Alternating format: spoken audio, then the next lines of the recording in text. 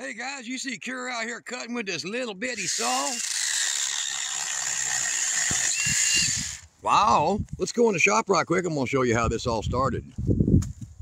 What do you think? I think it's pretty cool. All right, look below the video. I'll put a link to that. You're gonna like that. I had to get me one because I'm getting what, too old? Uh, yeah. No, I'm not. Mm, Give me that. 22 and a half. All right, so let's head in. I'll take a look at how this all began.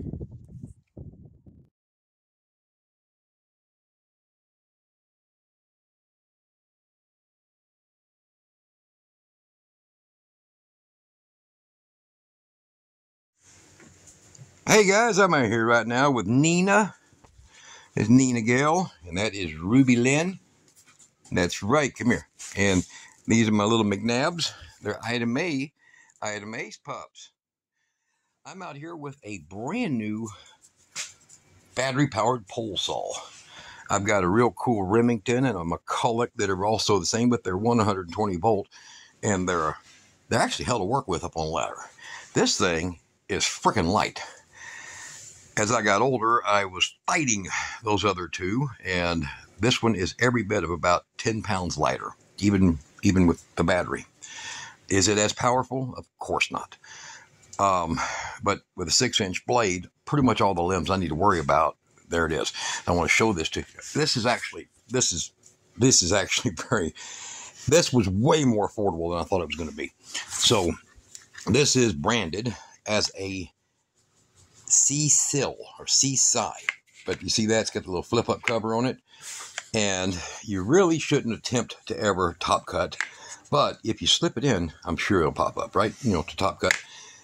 These are not made to just bear down, okay? But if you lay them on there, they'll cut and they'll cut real good. So I haven't used this one yet, but I have a neighbor who has an identical one, but for some reason his is a different color. Um, I think his was orange, and but it is the same brand, same everything. So I had a hell of a time finding this. Actually, I thought I was looking at the wrong one, but it's the same model number, and I got one. Now, it comes with two batteries. So I'm going to show you. This thing has got like a I don't know 12 foot reach, and it's real simple to use. It's got two locking little uh, screws there where you can tighten it, and it's got multiple different angles. I'm just going to pop this thing in here, and then, then it's got a uh, slip out preventer. This little thing right here. So you turn that, and it keeps it from popping out. All right. Now, doubt it will, but if you hit the button on a limb, it could. You see? So if you just bump it, it might. But typically, hitting it, it's not going to hurt nothing. All right. So I'm going to put this over here. Now, this has a straight through. You don't have to push the button of that right here. When it's on here, you don't have to push the button. When you take it off, you mount the battery also on the tool, which is kind of cool for like, you know, basically hedges and things like that. Um, the coolest part about this is they actually gave me an, they, they, it comes with, look, check this out. Now this is some goofy stuff. They put gloves in there. These are going to be real tight on my hands, but that'll work. And a extra chain. Decent quality safety glasses. And then a puny little oil bottle, you know, for oil in your chain because you can't you can't have a pre-oiler in something you're going to be holding vertical. Does that does that make sense? I hope everybody catches on to that. Most of these don't have a pre-oiler, and if they do, you got to lower it to the ground, rev the motor of it, and then bring it back up.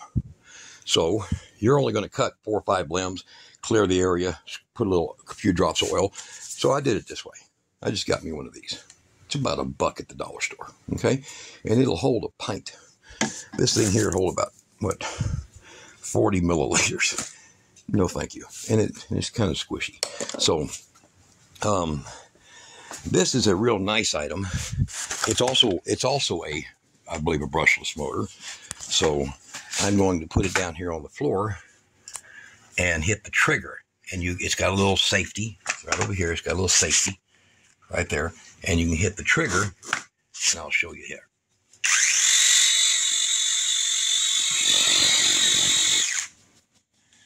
Auto brake and everything on it. Now, we're going to take it outside here in just a minute. But look at this. My Remington wouldn't do this. I had an old Homelite wouldn't do this. Um, I like this part a lot because then I can kind of just let it, let it kind of hang on it a little bit. And then these all cast forward, and this allows it to turn. So I can turn this head. Hold on. There we go. See, I can turn the head on it at, at a different angle from from where I've got this, and that really helps because then it doesn't kind of just wear you out. You know, trying to trying to hang it and hold on to it, and I like that. So there, lock it back. Now, as far as durability, hell, I don't know, but we're going to take it outside here in just a minute. We're going to take a look. We're going to see is this little tool, this little weird named tool, huh? Ain't that right, Ruby? Huh? You look so much. She look. Don't she look identical to Ida Mae? She is literally her twin. Nina, however, uh, I don't know. She's a lot softer and fluffier. All right, so there's the name, CC, I guess, if you're gonna speak, I guess that way. So there you go. But really cool. Comes with a basic little one amp or three quarter amp charger, 7.750 or whatever. Two little batteries. Just plenty for doing your get out there and cut a few limbs. And 21 volt. Fits. That's the best part. This charger, which is a fast charger. And I first got them. I'm like, wow, that looks looks so huh. So I took a multimeter. Te- yeah, it's all right. It's all good. And then I took the battery that comes with these and popped it on the popped it on there, and I'm like, oh wow, that saves me a ton.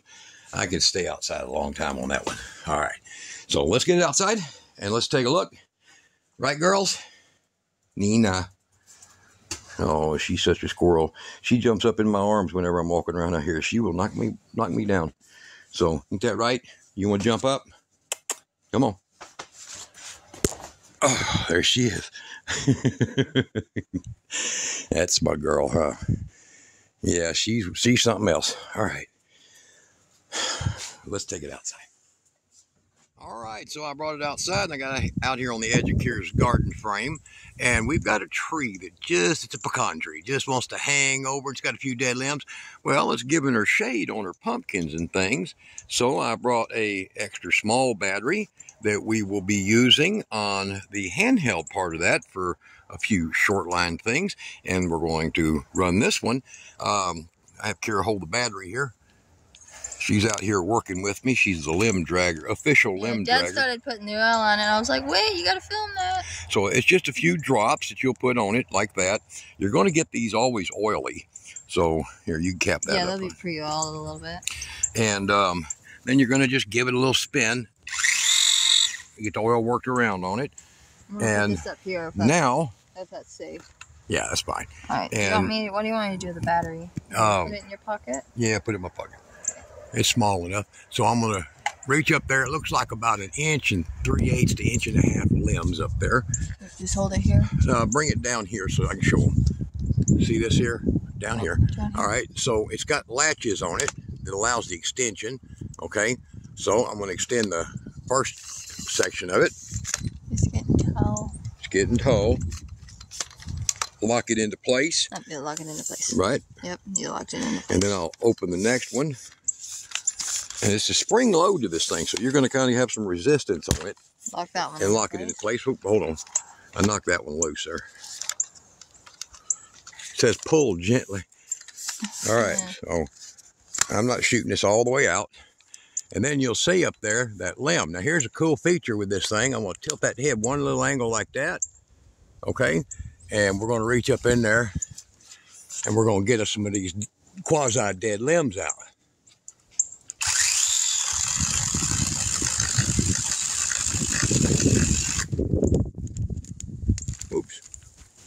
Hung it up.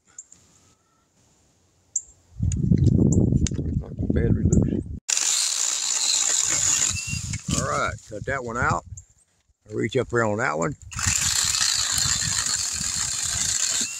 That works pretty good, guys.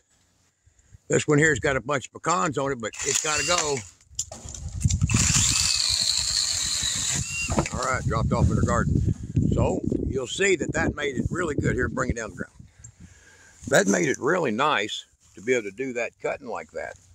And my Remington don't do that. So now I'll pop it, pop it off of here. Okay. And I'll grab the battery.